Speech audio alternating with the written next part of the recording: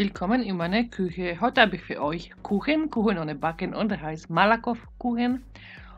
Und als erstes kochen wir uns einen Pudding, weil der muss abkühlen. Und da sind die Zutaten, die wir werden brauchen.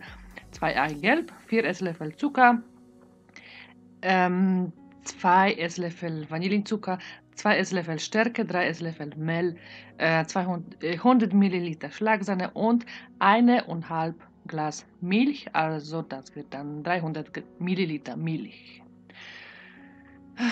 Ja, und ähm, Hälfte von der Milch gebe ich in einen Topf zusammen mit dem Zucker und lasse ich aufkochen. Und zu der restlichen Milch gebe ich äh, die Schlagsahne dazu, das Eigelb und die beiden Mehl und vermische ich Klumpchen frei.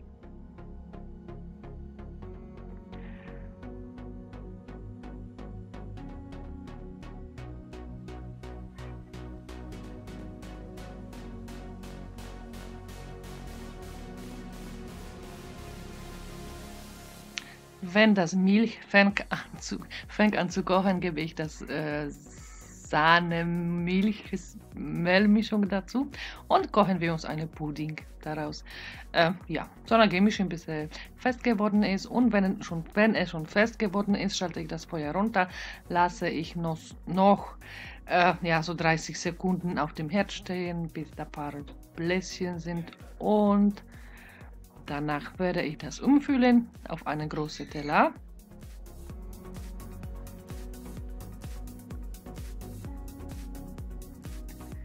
Ähm, decke ich mit Frischhaltefolie zu äh, und lasse ich abkühlen.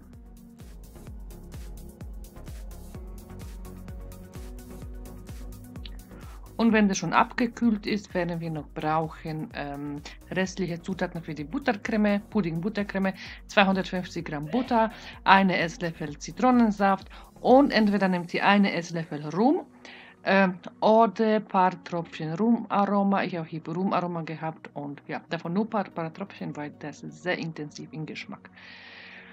Ähm, das Pudding werde ich mir ein bisschen portionieren äh, und die Butter werden wir jetzt cremig schlagen oder rühren, solange bis es so weiß geworden ist. Also das Butter, das Butter muss weich sein.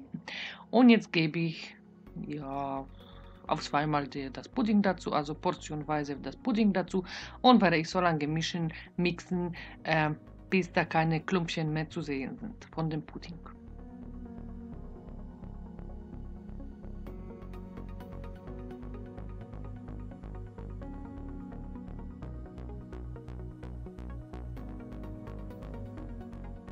Wenn das Butter mit Pudding schon glatt geschlagen sind, gebe ich das Zitronensaft und ein paar Tropfen von dem Rumaroma, also zwei, drei Tropfen nicht mehr, weil das Rumaroma ist sehr, sehr intensiv im Geschmack und das wird dann später nicht schmecken, wenn das so intensiv ist. Wenn ihr Rum habt, normales Rum, dann fünf, äh, eine Esslöffel und dann wird es gut, ja.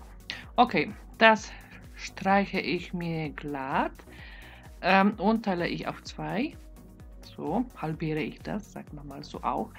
Ähm, und jetzt werden wir brauchen restliche Zutaten. Da habe ich jetzt Löffelbiskuit, 32 Stück, 50 Milliliter Orangensaft, da habe ich mich frisch gepresst. Ähm, und entweder nehmt ihr 50 Milliliter Rum oder zwei bis drei Tropfen von der Rumaroma. Ich habe das Rumaroma gehabt. Eine Glas ähm, Konfiture habe ich hier gehabt oder Marmelade war das irgendwas festes Brotaufstrich. Ähm, äh, dann 4 Esslöffel Mandelblättchen und ein paar äh, Amarettini, glaube ich, 15 Stück werden dann reichen. Äh, von den Konfituren, da habe ich mir so säuerliche genommen, ähm, Waldfrüchte, ja, das war. Ähm, die Mandel werden wir jetzt ein bisschen anrüsten auf die Pfanne ohne Öl. Die habe ich mir erhitzt und da muss man schon immer schwenken, schwenken und aufpassen, dass wir die nicht verbrennen, weil wenn die verbrannt sind, dann schmecken die dann bitter. Ja, wenn die so ungefähr aussehen, ein bisschen bräu, bräulich, bräulich, gebräunt, ähm, fülle ich die in eine Schüssel, weil die Pfanne ist, noch, die Pfanne ist noch heiß. Nicht, dass die uns die Mandel dann noch verbrennen. Okay, da habe ich meine aussichtbare ähm, Form Backform.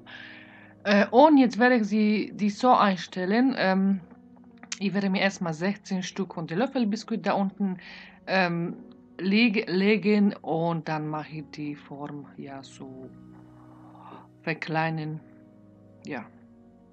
Genaue Masse kann ich euch nicht sagen. Also ich habe nur, nur so gezählt, dass mir da 16 Löffel Biskuit passen und ja. Äh, jetzt werde ich das ordentlich mit dem Orangensaft befeuchten. Ich vergesse immer diese Wort. Betrunken, betränken, betränken, ja, glaube ich. Also ordentlich, ja, Hälfte von denen. Und jetzt das äh, gebe ich ähm, kleine Klecks von dem ähm, Konfiture, also richtig, richtig ganz kleine Klecks da in die Löcher und in den, ähm, äh, ja, auf die Kekse verteilen, ganz, ganz klein. Äh, und dann verteile ich Hälfte von den Buttercreme, Pudding Buttercreme. Werde ich glatt streichen, vorsichtig glatt streichen.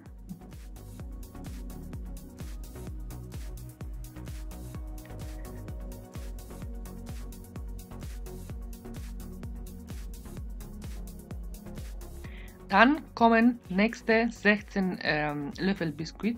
Die erste äh, Reihe war die bessere Biskuit und die zweite war schon die günstigste. Also wie man hier sieht, sieht man schon den Unterschied. Ähm, okay, die werden wir auch be betränken mit dem Saft.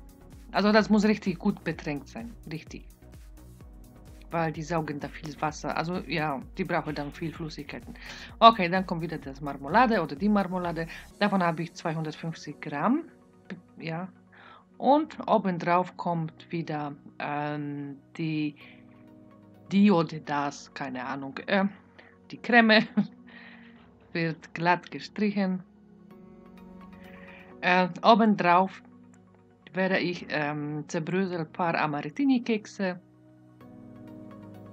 ja, so grob zerbröselt. Bei mir war, ja, wollte nicht anders. Äh, also je gröber, desto besser.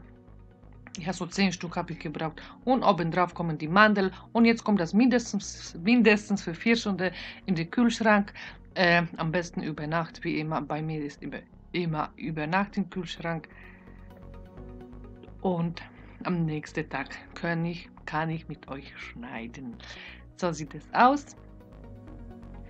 Ähm, ja, ich habe hier große Stücke geschnitten, deswegen hatte ich, glaube ich, hier neun oder zwölf, aber ich habe richtig große Stücke geschnitten. Ähm, naja, weil ich wollte, dass das schon auf der Foto aussieht. Okay, das Kuchen war sehr lecker, ähm, süß, aber sehr, sehr lecker. Ja, habe ich nicht mit euch probiert. okay, das war's schon. Ich hoffe, das Video hat, Video hat euch gefallen. Ich wünsche euch viel Spaß beim Nachmachen und bis zum nächsten Mal. Tschüss!